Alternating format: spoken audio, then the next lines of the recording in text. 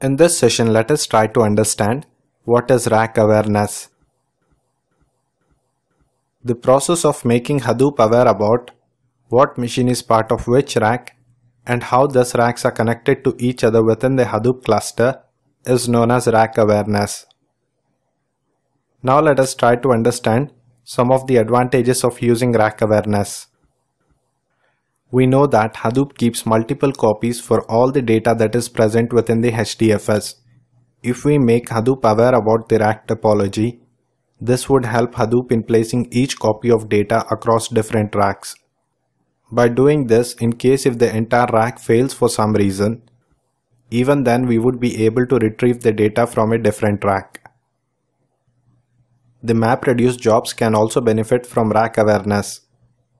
By knowing where the data is located that is required by the map task, it can run the map task on that particular machine itself, thereby saving a lot of bandwidth and time. This is referred to as data local task. Sometimes the map task may find all the machines that have a copy of the required data are busy processing other map tasks and none of the machine have any available slots to process this task.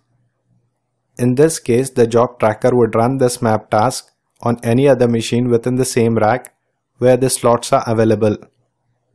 In order to do so, it needs to stream the data to this machine. Since this data needs to be streamed within the same rack, the bandwidth consumption would be less. This process is commonly referred to as rack local task. This concludes our discussion on rack awareness. I hope you all might have understood.